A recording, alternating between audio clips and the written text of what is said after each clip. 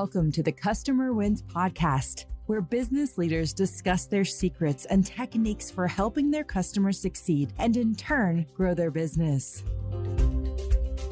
Hi, I'm Rich Walker, host of The Customer Wins, where I talk to business leaders about how they help their customers win and how their focus on customer experience leads to growth.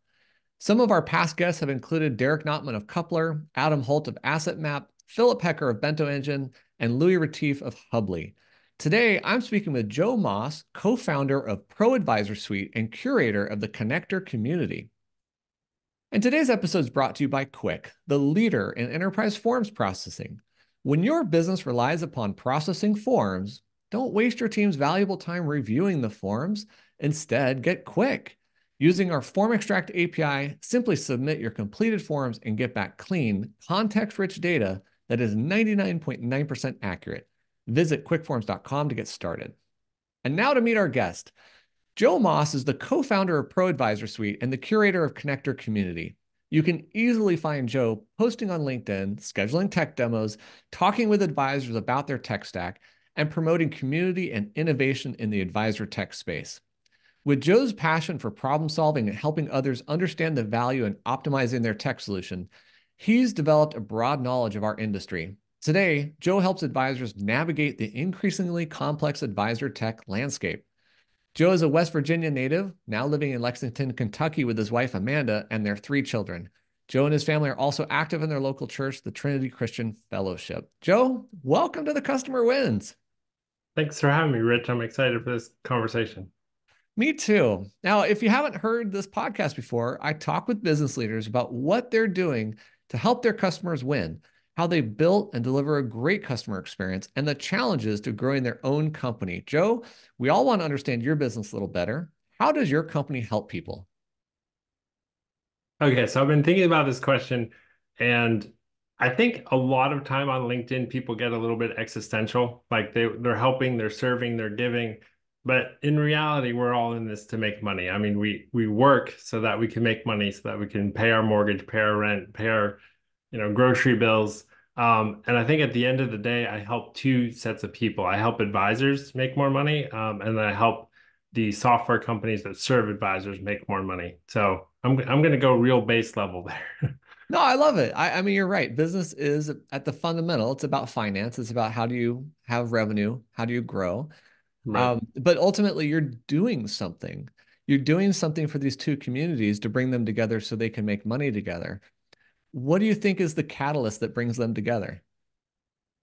Yeah, so I would say I connect the two. I mean, I think from the advisor perspective, I do tech stack consulting. Um, you know, the tech stack for a financial advisor can be long and complicated and, you know, overlapping tools. And I think it's helpful just to have a second opinion. Look at your tech stack. Someone that's looked at, you know, maybe a hundred other tech stacks, um, and get advice on that, and then get introduced to new tools. Um, so from that, from the advisor side, and then from the advisor tech side, you know, I help bring awareness to the service that they're offering, um, and get it in front of more advisors. So hopefully, and I don't want to sell something to an advisor that's not a good fit or doesn't fit their clientele. Um, so sometimes, you know, they'll even come to me and be like, you know, I'm looking at this tool, which may be one that I represent, but I'm like, well, that's not the best fit for you. So, you know, helping them win for sure, and then also helping my uh, advisor tech clients win. You know, Joe, I love that mindset, and I and I do the same for my customers. In fact, I'll be just uh, blunt with them and say, I'm not interested in making a sale. I'm interested in providing a solution and helping you solve a problem. And if we're not it, we'll be the first to tell you we're not it. And I and I think that kind of honesty builds trust and rapport and is probably why you're such a great connector in the community. So let's talk about Pro Advisor Suite. What is it?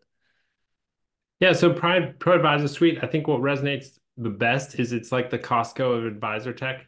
Um, so you know you become a member and then you've got access to all these great deals. Um, so the deals would be on specific advisor tech programs.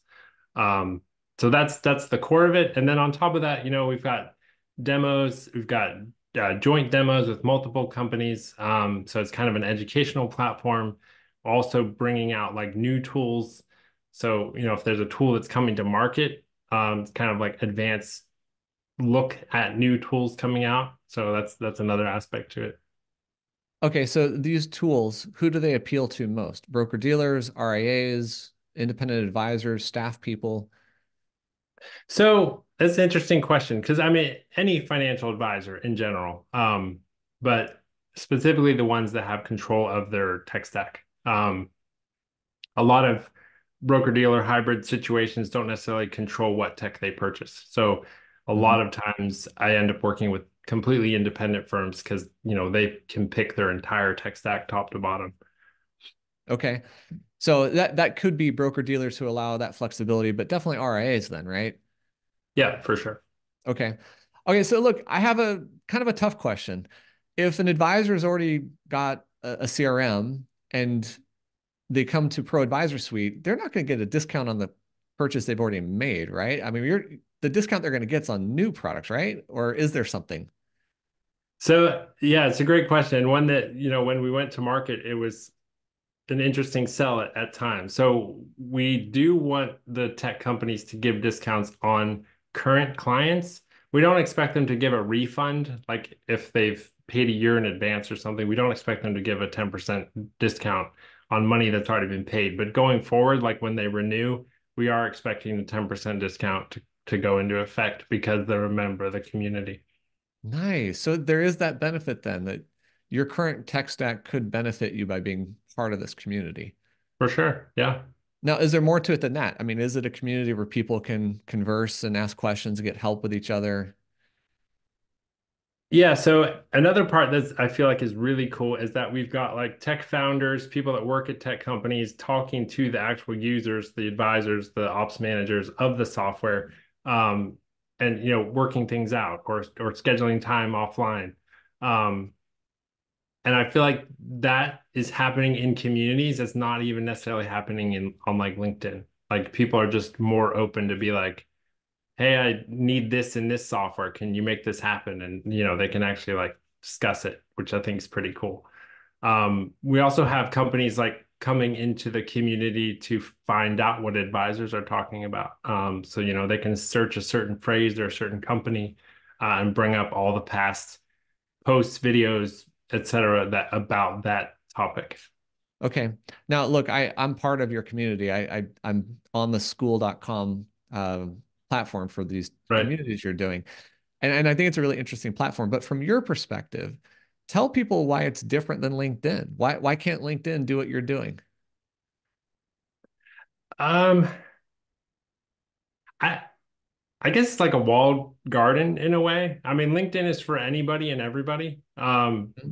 and I think within Skool, it's like a specific group of people. So that's that's a, that's an interesting question. I almost got to think about that a little bit. You know, um, I also think, I mean, just to add to this, my own perspective is that you have this continuity of discussion in your environment that you don't get with LinkedIn. Like if you put right. a post on LinkedIn, you can see comments and stuff, but it's hard to find that post three months from now. Whereas I think in your community, it's so much easier to see it. And there's also the membership aspect where you can engage with people more directly. Whereas LinkedIn does put up some barriers to that if you're not connected to them, right? Yeah. I, so I guess the communities have a specific purpose, um, a specific topic, a specific purpose, and then you know you can have different communities with a with a slightly different purpose. Um, so like you know my the community I started out with RIA operators. When I started the Pro Advisor Suite community, people were like, "Well, wait a minute, what's the difference between these two, two communities?" And it's like, well, this one is like all operations, you know, maybe with a focus on CRM specifically, and this one is like strictly tech, like advisor tech stuff, yeah. um, not necessarily operations related things. So yeah, it it helps to have like a specific purpose for for a specific person too. Like yeah. you don't want a bunch of doctors and attorneys coming into the advisor tech community because it just doesn't make sense. They're not going to ask the same questions. That's that's so true. Um, right. so you've you've really piqued my interest because you posted an article about the the rise of communities as a business model. So I'm curious how you see the community business model. What does it mean, and should others be doing it? Yeah. So Alex Hormozi, some people may know him, some may not. He's a fairly famous like business coach type person in in the entrepreneur space, I guess. Um, he just made a significant investment in Skool, and he had a quote something like, "Skool makes um, like it's the easiest way to start a business ever using Skool." Basically, he's like, "I've been looking for years on the easiest way to start a business, and now Skool has provided it." So I think that's um, and it's it is around like a topic. So you create a community around a specific topic you know you start to build a free membership. And at some point once there's significant value significant conversations you can make your community paid. Um, and all the payments and stuff is handled by Skool. And you know you can just um, you know increase your price as the value goes up and make a decent amount of income from a paid community. And Skool it's s-k-o-o-l dot com right? Yeah so that that's a platform for communities if you wanted to build a community. Um, I, and i've seen others like circle. I'm a, i actually have a membership on circle for a different type of community but i really like what Skool is doing to make it easy for somebody to say i'm going to start a community. Okay but it's one thing to sign up and start doing it. What are the activities? How how did you become successful with this? How did you attract people into your community and build it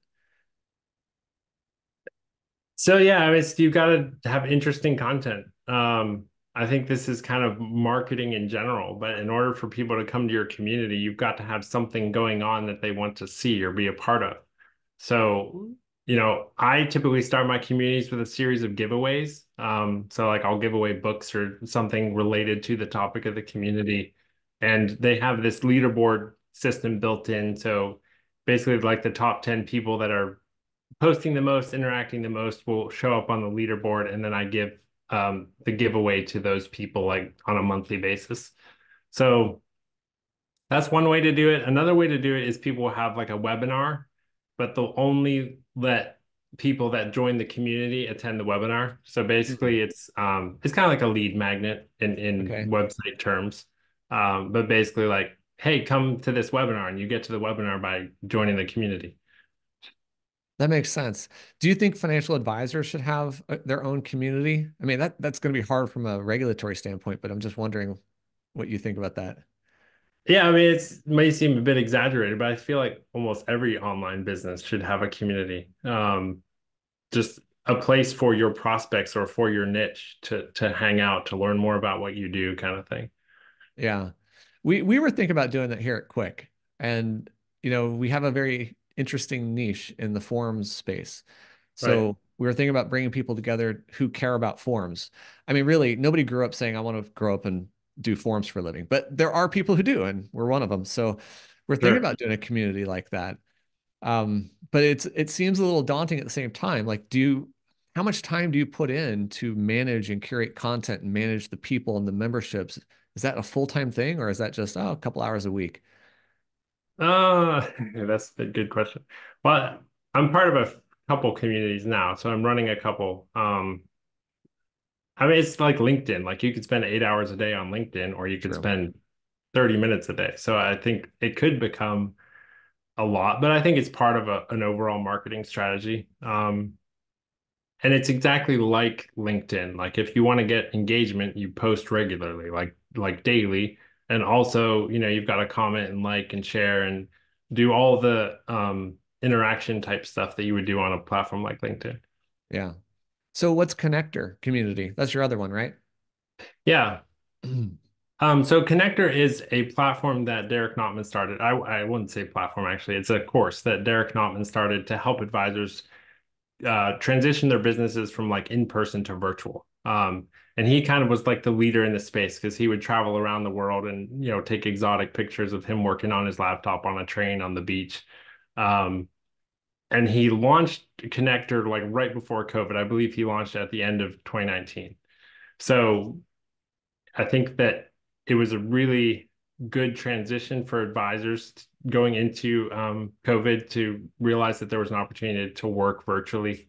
Um, and his his course has just really in-depth training all the way from like setting up your desk to the software you use to the virtual sales process to how to run a webinar to you know writing an ebook like really in depth basically everything he thought someone would need to know to become like a virtual advisor okay And so now you're managing that and and people are still going through that transition, right? They're still trying to figure that out.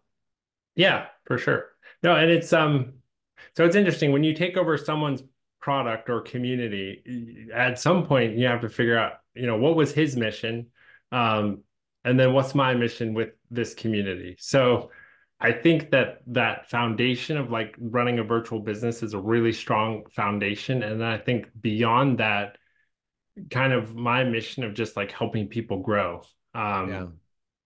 One of my mottos, kind of across all my businesses, is like up and to the right, um, just like with the, with the increasing graph. So, yeah, I think that's that's kind of what I'm hoping with Conneqtor as well. Plus, I love the word connector. You know, the misspelled connector. Um, because I feel like on LinkedIn, that's my goal is to be kind of a connector. Well, you are. You definitely are. I, and one of the things I admire about you is that when you engage with people, it's not just a hi. You go in and ask specific questions. Like you've asked me really good questions just in a comment on LinkedIn. And I started thinking about like, wow, that must be one of the most powerful ways to engage people and to get see people to see you because now you started a dialogue, not just, hey, nice post, but you said, what was it that made you think that or et cetera. How sure. did you develop that skill? I mean, that is, is that a natural thing you do or did you learn that somewhere? Hmm. That's a that's a good question. So it is interesting because I've been involved in online communities like even way before this. Um, so like a, a while ago, I was like a Dave Ramsey uh, coach. Um, I took his like financial coaching program was in the Dave Ramsey coaching community. Um, and and I would write stuff that just got incredible engagement because I just I guess I saw holes in the in the whole system. Um, when something is pitched a certain way and you realize on the back end that it's like not actually true or or it's just when you tell the truth people like really jump on the bat the bandwagon so i guess identifying issues um kate Guillen, my my former boss at simplicity ops is like you just have a really good way of simplifying complex things um so maybe it's some of that uh, that may be a gift. I, it reminds me of uh, improv comedy. The highest form of truth is actually what's funny on stage. Sure. And I think asking people direct questions and getting them to talk about things behind it is way more engaging. Um, you know, I, I, there, there's a question I like to ask, which is about artificial intelligence, but it's making me think about the types of tools that are out there. There's a tool now that I forget which one it is. You can have a plugin in your Chrome browser and it will write your comments and posts for you, especially comments on people's posts on LinkedIn. Have you played with any of those tools? I I think I know which one you're talking about. I also don't know the name. Um, I did play with it. I wasn't impressed with the, and I think that's where AI breaks down. Honestly, it's like when you're writing a LinkedIn post that's going to be very engaging, AI just can't write that. Like because AI is not creative. I guess I guess that's what I would say. AI is very like boring, like cut yeah. and dry. Like because it can only pull from um, you know other content basically where when you're writing really good linkedin content like it's got to be very personal very creative very engaging um, so i haven't found ai to be great at writing that kind of content. So I, have just started this last week actually. Um, i've had a year of recording podcasts so i have over 52 episodes recorded at this point and I decided to put all the transcripts into a GPT model. Yeah. And one of the outcomes of that GPT model is it's heard me talk so many times, I can ask it to to write things in my voice. Yeah. And it does a pretty good job, frankly. I, I would cool. still edit it. I wouldn't just post it, you know, straight across, but I'm like, hey, it sounds like me. It's kind of cool. that is what, one of those things that those tools are like adding a comment I think the comments can be really blustery or superfluous or flowery, and that's not your voice, right? When when you write, and again, I admire this about you. You ask an engaging question by being direct and going straight to the point of like, okay, so you said you failed. How did you fail? I forgot exactly what question you asked me. Um, it was something like that of what to do or not to do. I can't remember, but anyway, I, I think that's probably one of the reasons you are successful in building communities because you have figured out how to engage people. When you have a community running like Pro Advisor Suite, what's the tipping point when the community starts to take over performing the engagement, like posting naturally without you? That's a really good question. Um, yeah, so when you start a community, I mean, I'll look back through and it's like if I'm the only one posting, then that's an issue. Um, but if you look at like RIA operators, which is much more, uh, it's it's been around a lot longer. Um, you know, you'll see like I'm posting every seven posts or something. Yeah. Um, so yeah, it is. I think you have to get people comfortable to post, um, and they have to know.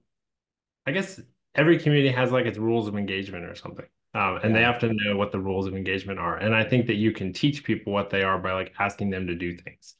So every time I start a community, I usually have like a start here post that has some instructions on like introduce yourself and then go check out this or something. Um, and you can pin those to the top. Like in another community, I have like a map. So you you look at the map and then you put in your location and then I'll add it to the map and so everyone can see where everyone else lives basically. Um, but just activities like that where you ask them to do a specific action and then they get used to like doing things. Yeah. Um, have you had any bad actors you had to kick out? I don't actually think I have yet. Oh, good for you. That's great. That yeah. means you're bringing high quality people to it. Yeah. Um, you know, going back to the business model, I, I have admired this business model for quite some time, never figured out how to do it. I mean, I have a software company, so um, I haven't really said I'm going to set my focus on building a community per se, but sure. one community that comes to mind that is outside the realm here is Lease Hacker. You ever heard of Leasehackr? I have not. So the the E in hacker is taken off. So it's lease H A C K R dot com. It's an online forum for how to hack a car lease. and it's fascinating. I I see that as a really successful one. The guy started by having a post like once every month or two, just kind of a blog article, and then building a forum, sure. and then growing from there. So now he's got a paid version that you can be part of that gives you more depth, more in in depth knowledge, et cetera. But I think this speaks to the model you're after, which is you build up a, a community of people of a similar interest, you draw them together, and then you see where it kind of flows and where it turns into something. So going back to then, um, you were I met you through RIA operators, and around the time we met is when you were putting Pro Advisor Suite together, getting ready to launch it. What gave you the idea for Pro Advisor Suite? Yeah, so just one comment on your uh, lease hackers, I guess. Um, for a long a long time, people were talking about niches, or I'll call them niches because it rhymes with riches.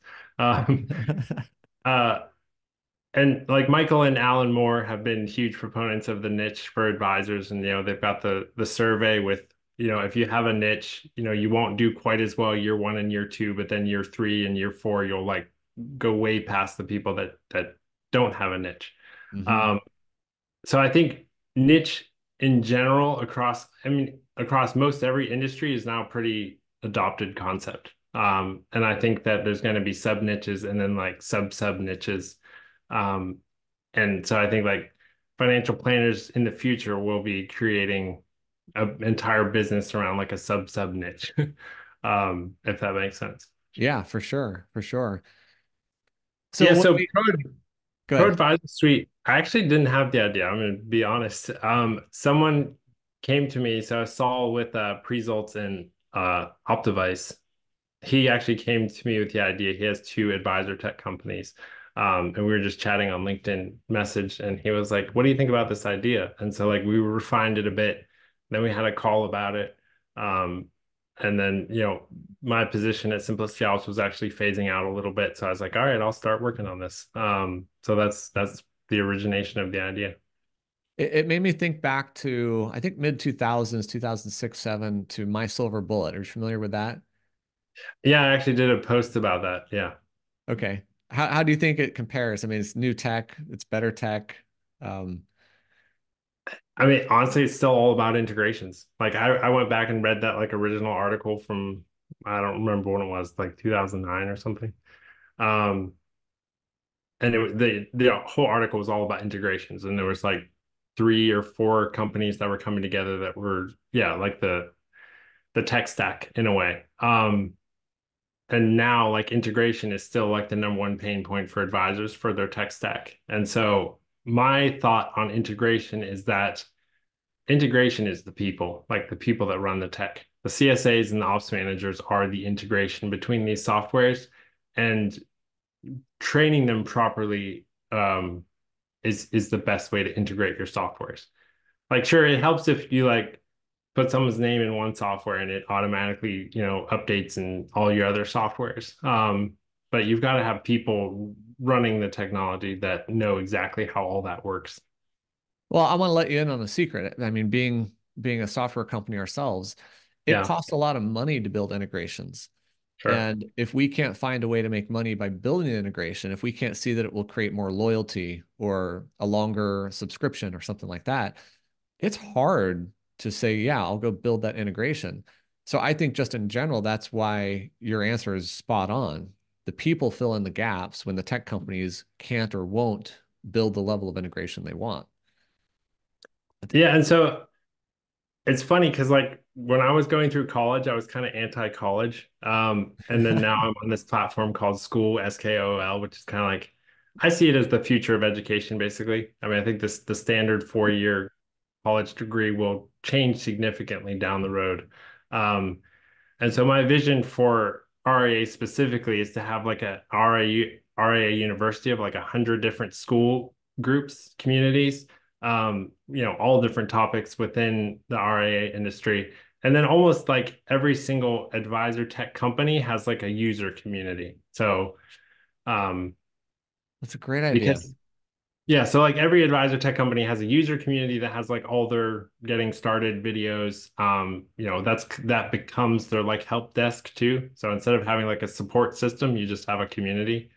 Um, and then I think one step further, I'm kind of excited about this stuff. Sorry. Go for it. We want to hear it. one step further is like within an RIA, I feel like Skool is also a great platform for like internal training. Um, hmm. so like even within your business. I don't know if it's best for like communication, like a Slack or a Teams, um, but just like getting someone up to speed. Like you can record a bunch of training videos with transcripts, um, and it can almost be like a wiki too because it's incredibly easy to search.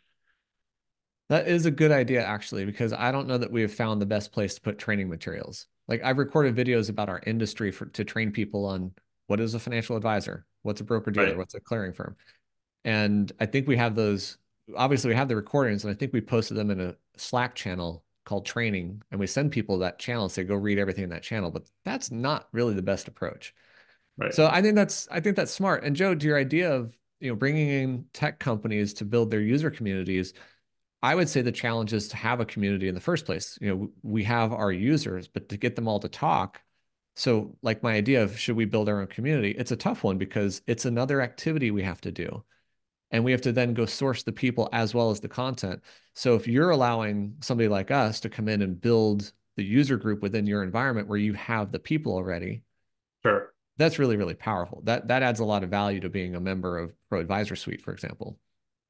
Smart. Yeah, idea. no, and I'm I'm hoping to build that out more. I mean, like if you'll see within the Pro Advisor Suite classroom, I have a little course on each one of our participating vendors. Um, and my initial vision was you know to have a significant number of resources there.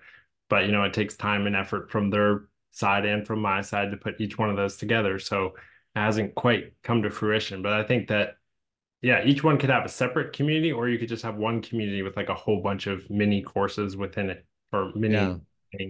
type things. No that's great. Man i'm glad we're talking about this. Okay let me switch back to that favorite topic of mine artificial intelligence Sure. How, so, I mean, given what you're doing, you're building community, you're posting a lot, you're engaging, you're creating content, you're bringing people together. What, how do you see AI impacting what you do? Yeah, so I mean, I've played with Chat GPT a lot. I have the paid version, um, and I ask it questions and I use it to um, build outlines and stuff. Like, it's very good at you know putting together an outline because that's kind of the hard part sometimes. If you're writing a blog post or putting together a bio or whatever, just creating a, a framework to start on. Mm-hmm. Um, but something that kind of has been weaving through our conversation is LinkedIn and marketing and um, you know engagement. And so I came across this tool called Heet.ai. It's H E E T.ai. All the best LinkedIn companies are out of Ukraine for some reason. I don't know. There's a lot hmm. of LinkedIn type companies coming out of Ukraine. but so this company, and I wouldn't, I don't think I'd use it myself, but basically it goes on your behalf and comments on like 500 to 1,000 posts per day. Oh my gosh. Um, and so then I was like, okay, this is very interesting because maybe I don't necessarily want to do that, and you probably get kicked off LinkedIn anyway. But the concept is very interesting because when someone creates a post, like what they want is they want lots of people to come comment, like, share their post. But everyone's thinking about themselves. So mm-hmm. everyone's saying, well, I want to put out a post that people comment, like, and share on. But if nobody comments, likes, and shares, then nobody gets any engagement. Um, so when you go and comment on someone else's post, it it's almost like a, an exchange of sorts because they're like, oh, you gave me some attention, so I'm going to come see what you do. So just, and I've heard this many times now recently, but it's like commenting is almost more important than posting. Um, mm-hmm. So you can build your following on LinkedIn just by being a really great commenter. You don't have to post. So I thought that was kind of. I, I think you posted an article about that, if I'm not wrong, and I read it. Yeah and one of the points the guy was making is that it's hard to post 10 times a day, even 10 times a week, even 10 times a month, but you can comment 10 times right. a day. Yeah. That's way easier. So you're right. That that's so smart. Do do you think that we're going to see I mean you just brought up an idea that this AI could be used for I don't know, to cheat the system in a way. I mean, Twitter had this problem with bots going and following and then unfollowing people to build up, you know, followership. Right. Do you see that? Do you see AI as going that way, or is LinkedIn going to put the kibosh on that really well? No, so I'm doing all this LinkedIn follower tracking. Um, and some people, I, I hear these comments like, oh, he bought his followers. It doesn't count. And it's like, um, I know you could do that on, I forget what platform I was looking into that kind of thing, but I didn't realize people could do that on LinkedIn. And maybe they can. I didn't know you could. Yeah. But I do know that LinkedIn is like actively killing profiles that are not real or not not live or active. Um, so like I was talking to this one fellow and he like lost 6,000 followers, you know, in a day. And he's like, what in the world happened? And it's like LinkedIn had gone through and like cleaned his followers. Wow. Um, so I think that's interesting.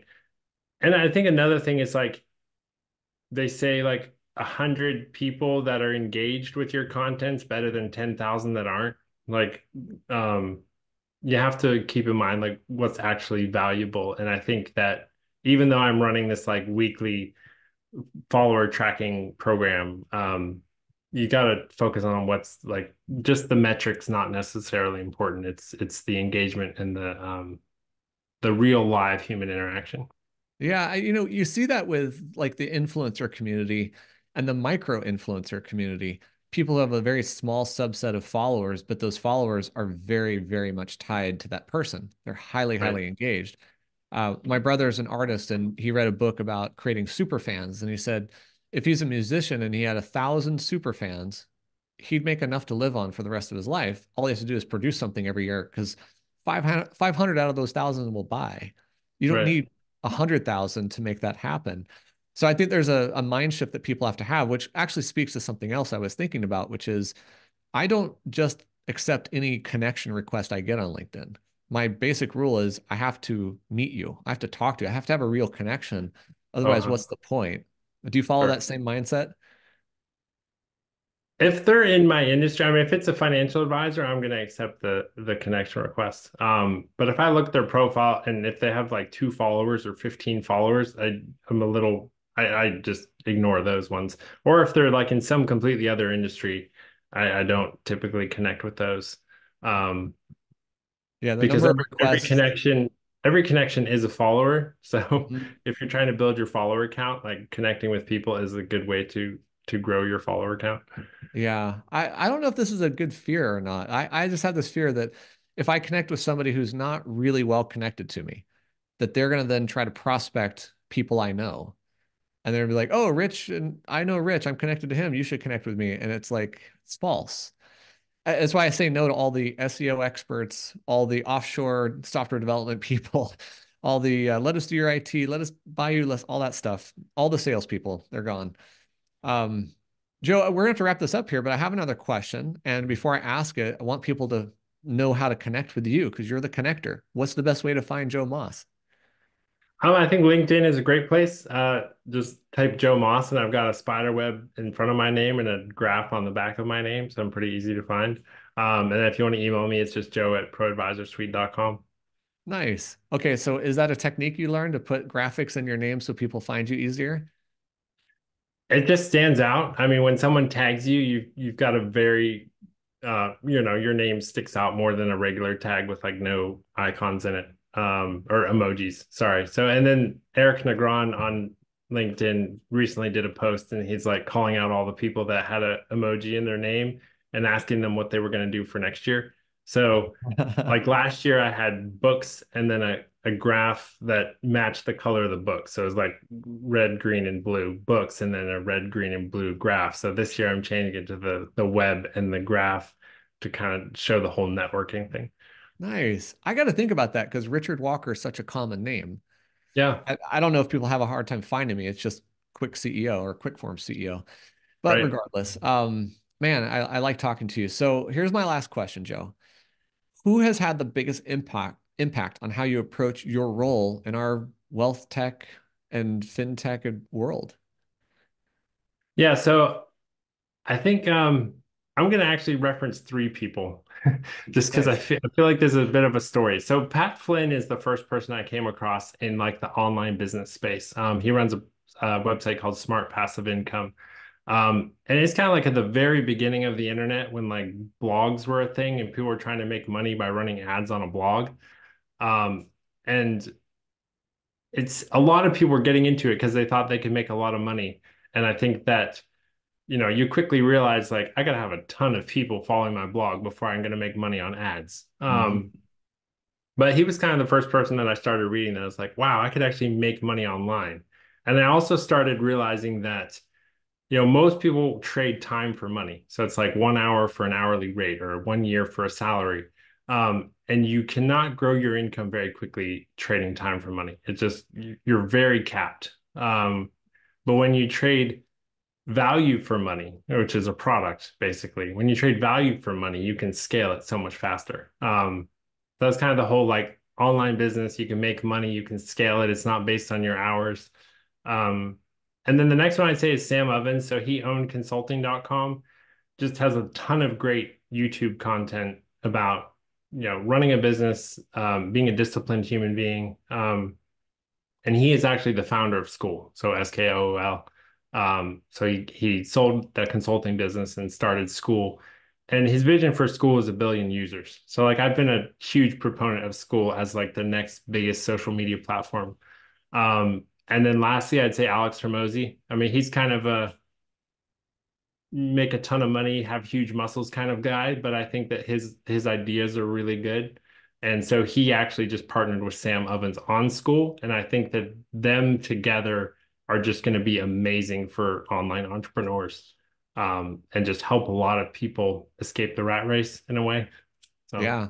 Well, those are great references. I, I think people are really going to get a lot of value out of, after hearing this um, and hearing how communities work and really your honesty about let's make money and let's help each other make money. I, I think that's pivotal.